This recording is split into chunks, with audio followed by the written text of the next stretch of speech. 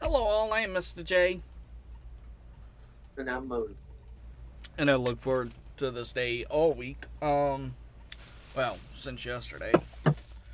Um, well, I guess I'll go ahead and get into it. You already know what I'm drinking by the title.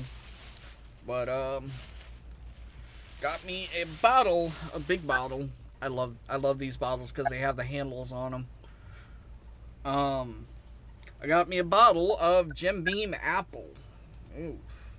Is it sweet or is it sour motor? Last time I checked, it was just, it's not a sour apple. Because I've It's real good. yeah that kind. You know what that kind of smells like? A uh, green apple Jolly Rancher. See, I had all right. So oh, my cousin, my, my my cousin had a bottle of um, Crown sour apple or Crown apple, and that shit was sour. And it does have. It's got kind of like a um, a yellowish lime green color. Oh, I could see the fucking syrup in that. Yeah. All right. I'm scared to do this, but here we go.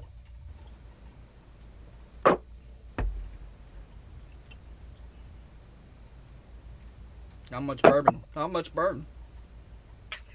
Exactly. That's smooth. That is smooth compared to Crown Apple.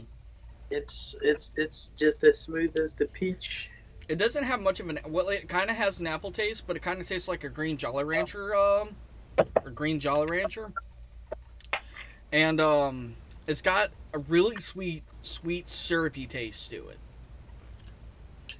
But that is pleasant. See, whenever I think of green apple, anything that's green apple, green apple whiskey, green apple uh, bourbon, green apple, anything, I always think of sour green apple. That's not the case with this. Although, um, I would honestly, I this is something I could drink regularly. Um, so I'd rate it about a five point five.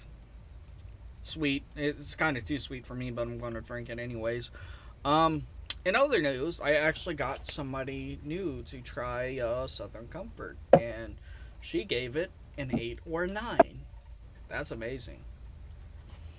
Anybody who knows me personally, who who has seen me like drink during the week and everything, everybody knows that Southern Comfort is my shit.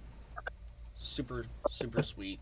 Kind of's got like a cough syrup taste to it, um, but it's a sweet whiskey liqueur type thing nonetheless. And it's cheap too. Well, uh, it's cheap for me. It's not cheap. I don't think it's cheap for Motor or the person I'm talking about. It kind of is. Well, she almost she paid almost twenty bucks for it. But like I say, it depends on what size. Yeah. I think it was like twenty bucks for a fifth, unless you bought the half gallon. Then that's uh, that's not that bad. All right, so uh, I, I normally don't talk about the prices. So what can you typically find uh, Jim Beam apple for? Uh, I think I paid like 22 dollars $23 for a half gallon. Um, I would have gotten a fifth, but they didn't have any fifths, so I just went with the half gallon. Uh, me and my grandmother were also looking at some other uh, green apple stuff, like green apple pucker from uh, that DeKuyper or how you pronounce the person's name. The shit that the person that or the company that makes schnapps, they had a green apple pucker thing. But the problem with that is it was really, really low proof. I think it was only like 15% alcohol. And anyone who knows me knows that 15% is. I, I If I drink a bottle that's 15%, I'll end up drinking the whole fucking bottle and still not be to where I want to be. And I seen another uh, apple. I seen an apple flavored whiskey, and um, it was a little bit more expensive than what uh, Jim Beam Apple was. Um, so I just went ahead and went with Jim Beam Apple. But uh, I might try and get like just bite the bullet one of these days or one of these Fridays and buy some more schnapps because I really like doing the schnapps like liquor reviews. Ooh, that tastes like green apple coming up. I know I want to do it when I get the chance to. When you get the fucking money to, if you can No find money. won't- If your Money boss won't allows be- you to work. Money won't be an issue uh, when I get my tax return very soon. Oh yeah, that's that's true. There's that. aspect. Um, I'm not going to use all of it like I did last year. I use No, I would get the essentials. I, honestly, I would put a little bit aside for a new TV, a bigger TV. Well, actually, I'm trying to get my license now. But besides the point, I'm wanting to do a video on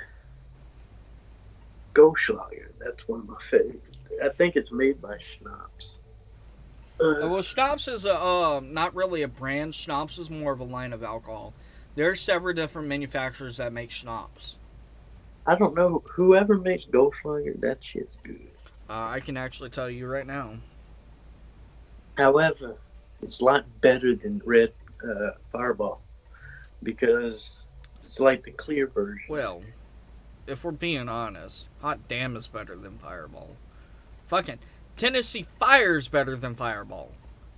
Goldschlager is way better than Fireball Body. It don't take much of Goldschlager to get you drunk. A bottle would probably fuck you. It didn't take me much to get drunk off that fucking Hot Damn. It's become one of my favorites.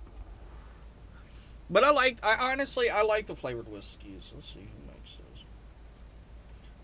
Oh, it is a schnapps. Goldschlager is uh, Swiss Cinnamon Schnapps. Country of origin, Switzerland. Yep. Um, I like drinking the imported alcohols. I do like drinking domestic alcohols like uh, um, Jack Daniels, Tennessee whiskey, Jim Beam, uh, Kentucky Straight Bourbon, Evan Williams. I like drinking them all. But I tell you, when it comes to the more sweeter liquors, the really the only place you're gonna find sweet liquors is in other countries. This is imported from Modesto, California. I like, I like how it says imported. It's like they're not even considering California a U.S. state anymore. But um, no, I'd go ahead and give the uh, Jim Beam Apple. is, Uh, what did I say? A five point five. Yeah, it's good, cheap. If you like uh, apple flavored stuff, I'd recommend picking it up. They got an apple flavored of this. I've seen some. Uh, speaking of alcohols, I uh, we we uh was getting ready to leave, and like we passed by the more expensive shit. Like we seen one bottle of alcohol that cost like eighty fucking dollars.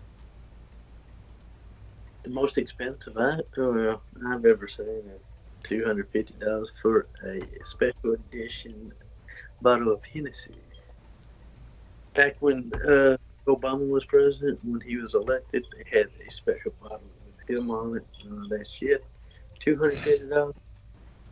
I've seen alcohols go all the way up as as to three hundred dollars, if not more. But this was pretty cheap for a half gallon. Twenty bucks. Yeah. It's kind of got that same taste that Jim Beam Vanilla has, but in an apple form. I still like the peach. Hmm Uh, I think that's pretty much it. What about you? Uh, that's it for me. Anyways, guys, if you enjoyed the video, leave a like down below. Don't forget to comment, share, and subscribe. Don't forget to hit that notification bell to be alerted when we upload new videos. Anyways, I am Mr. J, And I'm and we are signing out.